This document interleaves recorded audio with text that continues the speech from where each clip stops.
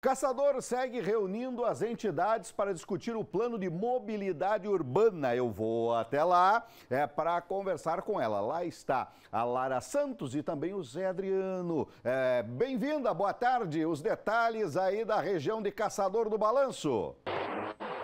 Olá, Prado, para você, para todo o pessoal de casa que nos acompanha, exatamente. Como você disse, a SIC ela está participando de diversas reuniões que estão elaborando esse plano de mobilidade aqui em Caçador.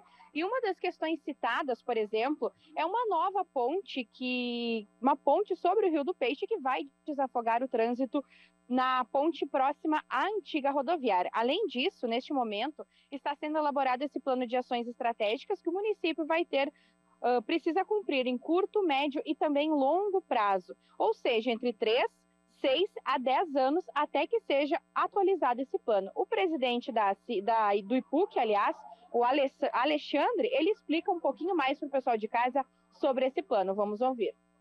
Nós, enquanto prefeitura, contratamos então, através do Instituto de Pesquisa e Planejamento Urbano, uh, o diagnóstico através do Sim Catarina.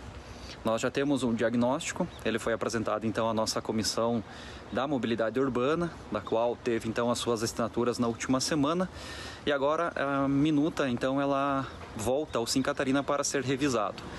Nós teremos então mais uma audiência pública para que então posteriormente ela possa se tornar lei.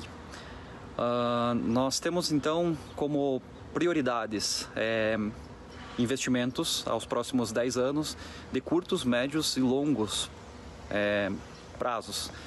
Então, o município vai estar deliberando sobre a questão de passeios, mobilidade urbana, transporte coletivo, acessibilidade, é, transporte público, ciclovias é, para ciclos, enfim, todos os assuntos que envolvem a mobilidade. Então, o município, a partir deste ano, terá então como obrigação cumprir alguns requisitos no que fala o que tange sobre estacionamentos rotativos, né, é, faixas elevadas, enfim, todo o assunto que envolva a mobilidade.